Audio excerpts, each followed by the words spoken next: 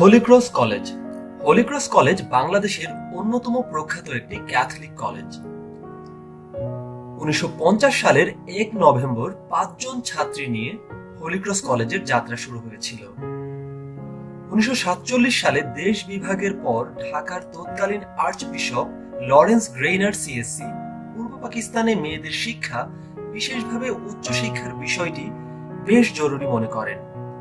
তিনি হলিক্রস সন্ন্যাস সংঘের সিস্টারদের অনুরোধ জানান পূর্ব পাকিস্তানের মেয়েদের জন্য একটি কলেজ প্রতিষ্ঠার। আর সেই থেকেই হলিক্রস কলেজের যাত্রা শুরু হয়। কলেজটি শুরুর পর্যায়ে শুধু মানবিক বিভাগ চালু ছিল। উনিশশো বাষট্টি সালে ঢাকা বোর্ডের অনুমোদনে এখানে বিজ্ঞান বিভাগ খোলা হয় এবং সময়ের প্রয়োজনে দুই হাজার পাঁচ সালে এই কলেজে ব্যবসায় শিক্ষা বিভাগ খোলা হয়। উনিশশো সাল পর্যন্ত কলেজটিতে ইংরেজি মাধ্যমে শিক্ষাদান করা হতো। উনিশশো সাল থেকে সরকারি নির্দেশ অনুযায়ী তা বাংলা মাধ্যমে পরিবর্তিত হয় এবং এখন পর্যন্ত এখানকার শিক্ষা কার্যক্রম বাংলা মাধ্যমে সম্পন্ন হচ্ছে। হলিক্রস কলেজের রয়েছে অত্যন্ত সমৃদ্ধ একটি গ্রন্থাগার।